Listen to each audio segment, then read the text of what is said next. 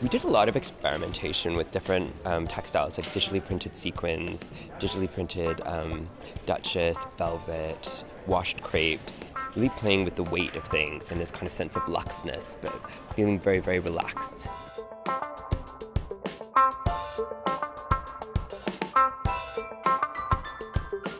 I was, um, I was kind of first initially inspired by the film Pollock and um, his relationship with his wife and the idea of this kind of woman married to an artist but someone who painted herself. You know, I had this idea of this kind of woman that maybe was kind of come undone slightly and started to like paint in her like Chanel tweeds and took all of these like kind of things that are very typically ladylike and kind of destroyed them and mucked them up in a way. But it was um, a lot to do with like kind of abstraction, but very much about a very kind of female silhouette.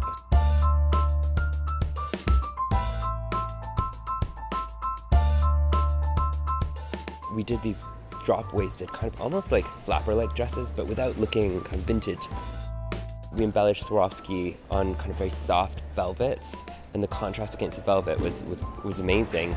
Also on some more structured dresses, like on Duchess, so just kind of embellishing things from like top to bottom, so they had this wonderful weight.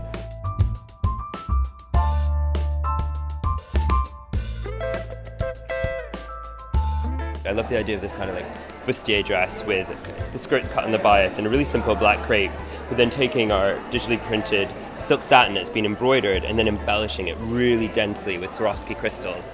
This wonderful kind of like shine kind of happens right at kind of around your face. Very beautiful